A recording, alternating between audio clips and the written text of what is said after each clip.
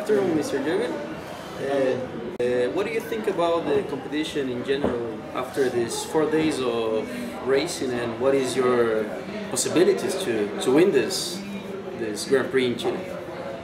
To win the Grand Prix, especially in here, against the local pilots, is very very difficult, and um, because this is a, a very complex area. That means you have to know a lot of details. And um, if you just make only one tiny mistake that will mean you're losing points the day.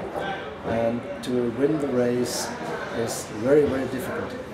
But um, of this um, I'm here for uh, because I, I, want to qualify for, for the final uh, Grand Prix but beside of this, I, this afternoon I thought maybe the qualifying in Chile is more exciting than participate in the final because this is the perfect uh, area for, for having Grand Prix.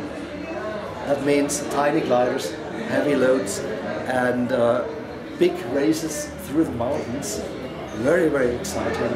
I think there's probably no place better in the world to um, to have a race with a characteristic like that uh, as Santiago de Chile Vitacura. All right, thank you very much for for your time and uh, have a, a, very well competition in the next uh, few days and I hope you have a, a great uh, time racing. So yes, I definitely have a big time here and that's especially because I found so many friends in here.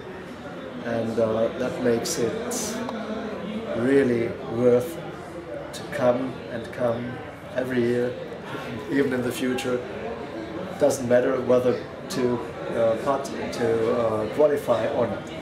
Thanks a lot. Thank you very much